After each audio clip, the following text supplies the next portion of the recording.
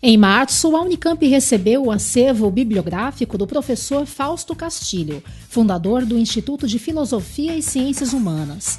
Antes de sua morte, em fevereiro deste ano, Castilho doou formalmente 10 mil volumes à universidade. Distribuídos em cerca de 200 caixas, os livros são de escritores como Rousseau, Goethe, Hegel e outras coleções raras, em diversas línguas.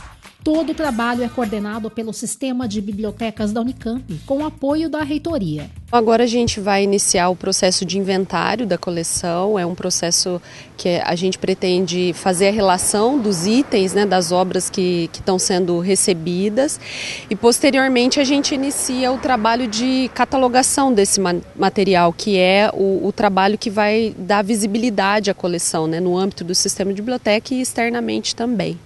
Neste processo, os livros vão ficar na Biblioteca Central e, posteriormente, serão disponibilizados na Biblioteca de Obras Raras, em prédio em fase final de construção.